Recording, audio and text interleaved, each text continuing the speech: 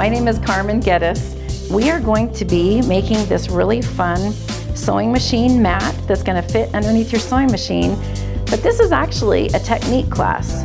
We're going to be learning some great tips on how to make a nice bias binding, how to miter nice corners. We're going to learn to make piping.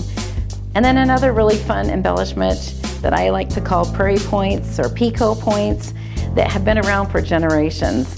And all the while, hopefully you're gonna be building confidence so that you can take these techniques into your next quilt project and have great results every single time.